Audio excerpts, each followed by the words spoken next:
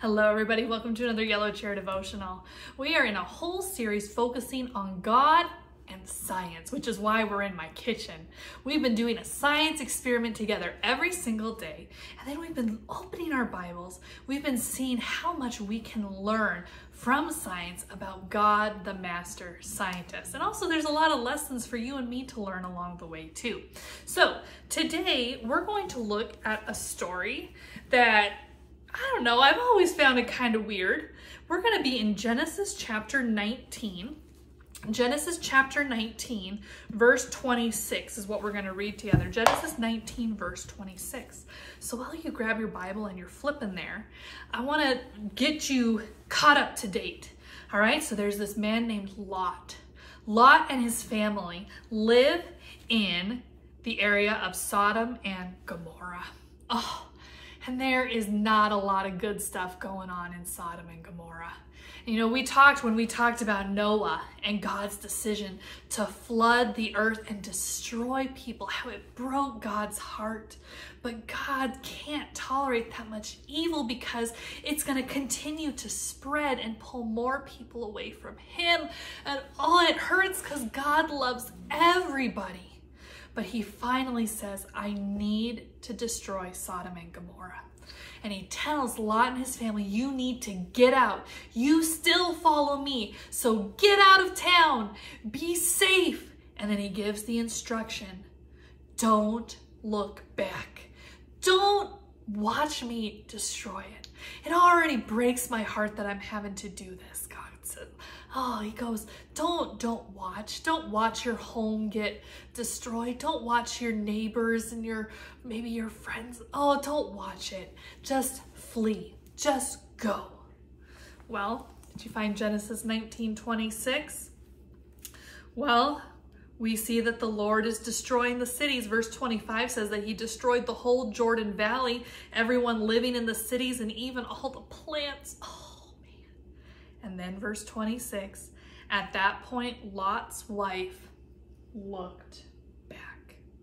And when she did, she became a pillar of salt. She turned into salt. Now, I don't really know what the symbolic meaning of that is, but I do know this. She didn't follow God's instructions. She looked back. And as a result, she lost her life too.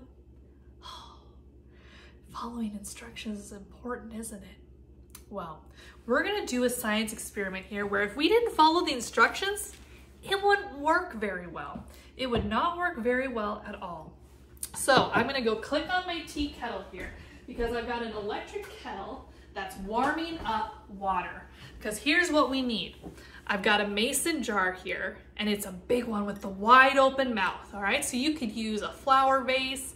You can kind of look, you just need a jar, you want it to be glass, something to hold hot water, and it's gotta have a bigger opening in it. Okay, then we're going to make what kind of looks like a salt crystal, but we're gonna do it with borax oh, we're gonna do it with borax.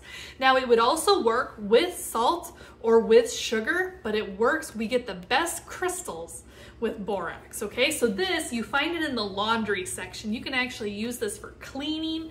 It's It kind of suds up a little bit like a soap. Okay, so we need some borax.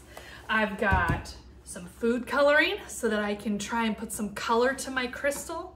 And then we need a pipe cleaner. We need a pipe cleaner. So to start off, we're gonna decide what kind of crystal do we wanna make? What shape do you wanna make with your pipe cleaner? So I'm going, I don't really know how to make much for fancy shapes. So I'm just gonna twist it like this and see if I can make it look like a fish, you know, kind of like the Christian fish symbol, all right? I'm gonna let that be my crystal grower because here's the key. I wanna make sure that this fits into this without touching anything else. We don't want it to touch the bottom or the sides. Okay, so we wanna make sure that it fits. So I'm actually gonna make my fish a little bit plumper so that it doesn't touch any of the sides. Now, I'm gonna move the camera down to the workspace here so you can see what I'm doing. So I've got my jar, I've got my creation here, my pipe cleaner creation. Now I'm gonna take some string because we're gonna have to dangle our fish in here. And I'm just gonna tie some string around this. All of these instructions that we wanna follow correctly. Okay, so I'm gonna just tie a little tennis shoe knot. If I get my fingers to work. I'm gonna trim off the extra. And now we're gonna measure, right? We don't wanna just eyeball, it. we gotta measure to make sure is gonna work. Okay, so I'm gonna lower it down. And remember, I don't want him to touch the bottom. So I'm gonna figure out where he needs to dangle and I'm gonna grab a pencil or a pen or something and I'm gonna wrap my string around here because we're gonna have him dangle off of this. So I actually am gonna make him a little bit, I'm gonna do this. Do that number so he can dangle. So we're gonna twist this around here. And I'm gonna check where do I need him to land? And then I'm gonna cut my string. I'm gonna actually grab some tape and I'm gonna tape this onto my pencil now. So I gotta get him at the right height. So remember, we don't want him touching the bottom. Don't want it to touch any of the sides. Position it, wrap my string around. Now I'm gonna tape it. Okay, So now that we've got him ready to go in, my little goldfish here, now we're gonna make our solution. We're gonna make our solution. Now we're going to make what is called a super saturated solution. Super saturated. So to start out, we need boiling water boiling water. So that's why I had my electric kettle going, already boiling some water. So you might need to ask a grown-up for some help with this. Maybe you boil some water in the microwave or on the stove, but we need three cups of boiling water. Now my jar here actually gives me some measurements and I know that this is my three cup line. Well, we could also use a measuring cup like mine here, my glass measuring cup, but we're just gonna pour our hot water in. Pour in our water here. Three cups of hot water. All right, now the water, so I'm gonna grab a pot holder. Gonna be warm. Okay, we don't wanna burn anything.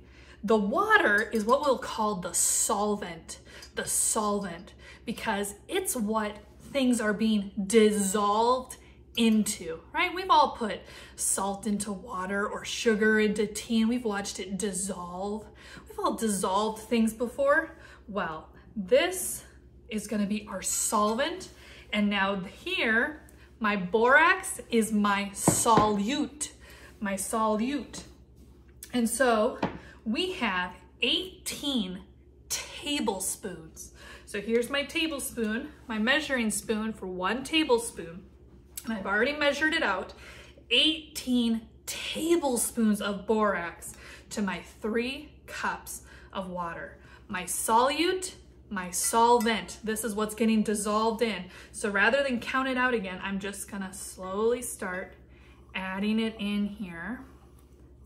Now, when we put salt into water, maybe if we're cooking pasta or making soup or something, it dissolves right in and you can't tell where the salt is anymore. You can just taste the effect of the salt, right? Well, when we make a super saturated solution, which is some fun alliteration, we make a super saturated solution, there is so much of our solute that there's not enough room in the water to dissolve it all. There's not enough room in my solvent for all of the borax to dissolve. So even though, even though I'm stirring and you would think that it would dissolve, I'm gonna lift this up for you to see, try not to spill, it's still swirly in there. It's still cloudy. It's even collecting on the bottom a little bit. There's no more room in the water for it to dissolve. I can keep stirring, but the borax is there to stay. And that's how we know that it's going to be looking for a place to go. And in this case, we want it to go on our pipe cleaner. So now we can pick a color. What color do you want to use? Well, how about some red? How about some red? So I'm just gonna put a few drops of my red food coloring. Actually, that's feeling a little like it's plugged and I don't wanna make a big mess with it. So then we'll maybe just add a little yellow. A few drops of a food coloring. Careful so we don't stain. And now my food coloring is gonna spread out, but do you see how on the bottom, do you see how that's still, there's that borax because this is a super saturated solution. There still can see my borax solute that won't fully dissolve into the water solvent. So now, now it's time to drop in my pipe cleaner. We're gonna drop him in and now make sure he's not touching anything. Make sure we're not touching it or rearrange if we need to. And now he's gonna sit there for an entire day. Now what's so crazy is within just a few minutes, you'll be able to start seeing crystals forming. It doesn't take long because all of that extra borax, all of our extra solute needs a place to go. It needs a place to go and we've given it a hairy, fuzzy pipe cleaner. What a great, attractive surface for our borax to go. So I'm gonna move this out of the way. I'm gonna move this out of the way and try not to bump or spill. And I'm gonna show you the one that I already made. I'm gonna show you the one that I already made. And here it is. What do you think? Look at all those crystals. Do you see how the light reflects off of it? It's so hard. It's so hard. Look at that heart that I made. Now over here, see how we don't have as much crystals right there? Those were spots that hit the edge of the jar. Ugh, I tried to follow the instructions, but I still ended up with a section that hit the side of the jar, and so it didn't get to be as crystally, did it? Now you could hang this in your room in the window and it'll catch all the light. You, I don't, you can make a Christmas ornament, all sorts of decorations. Um, but there's so many different sizes. Look at all these different crystals. If I hold that up, if I don't want it to be all blurry. But we see that something beautiful comes out of it. But we've got to follow the instructions. We've got to follow the instructions. If I only put a little bit of borax in, it's not going to work. If I use cold water, well, maybe, but it might take longer because now what's gonna happen? When we think of our, of our water cycle, when we think of how water works, does water evaporate? And does it really evaporate when it's hot? Right, if you've got boiling water on the stove, what is evaporating off of it? You can see it, steam, right? Our hot water, because it's cooler temperature here, we're gonna have the water cooling down and evaporating off, which means there's even less solvent. My water's evaporating off, and what's it leaving behind? My borax solute, my crystals, my crystals. But it all comes from how we follow the instructions, how we follow the instructions. God told Lot and his family, don't turn around and look back. Don't turn and look back. I don't want you seeing this. But Lot's wife didn't follow those instructions. If you grab your Bible again and we turn to the New Testament, Jesus talks about the most important instructions ever. The most important instructions. We're going to go to the Gospel of Mark. So Matthew, Mark, Luke, John. We're going to go to the Gospel of Mark, Mark chapter 12. Mark chapter 12. Pause the video if you need a little bit more time to find Mark chapter 12 because I love when we're able to read our Bibles together. So pause, hit play when you're ready. We're going to read Mark chapter 12, verse 29. Verse 29. Someone just asked Jesus, what's the most important instruction? What's the most important thing that we should follow? And verse 29, Jesus answered, the most important command is this, Listen, people of Israel, the Lord our God, He is the only Lord. Love the Lord your God. Love Him with all your heart, all your strength, all your mind, and all your strength, your soul. I keep messing this up today. Love Him with all your heart, all your soul, all your mind, and all your strength.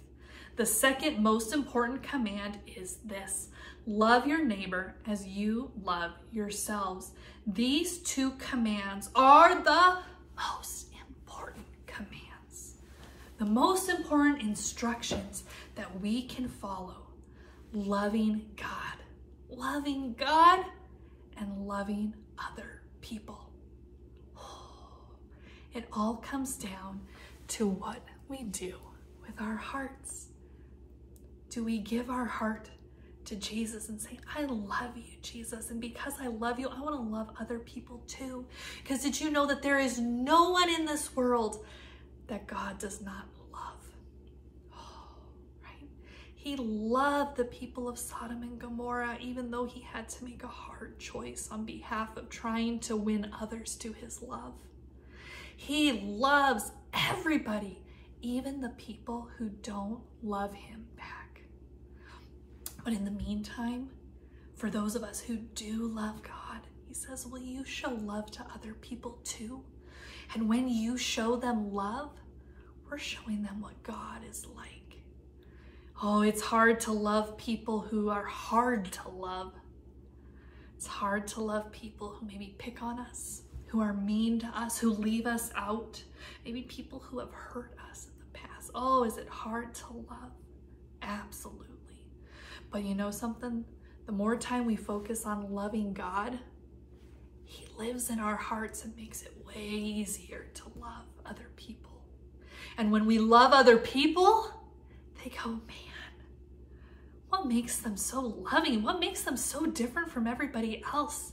They go, I wonder if it's because they love God. It's like a whole full circle picture we love God, so we love others. And when people see us loving others, they realize it's because we love God. And maybe they go, I want to be loving too. It's important to follow the instructions, otherwise, things get a little messed up. But the most important instruction of all love. That's what it all comes down to.